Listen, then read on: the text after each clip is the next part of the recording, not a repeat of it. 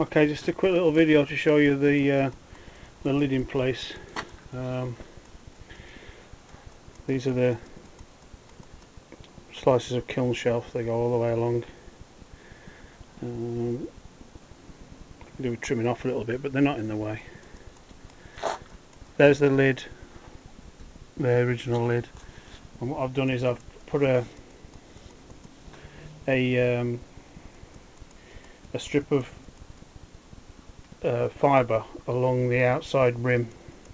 And what that's going to do is it's going to raise the fibre off the shelves slightly to create to stop um, the heat transferring through.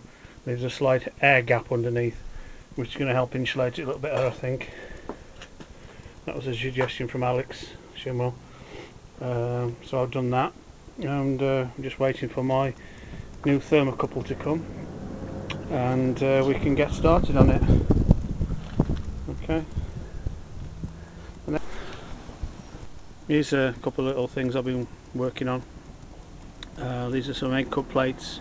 I usually do them with mice on uh, but my daughter wants some for Easter presents and she's asked for hedgehogs so there's the ones with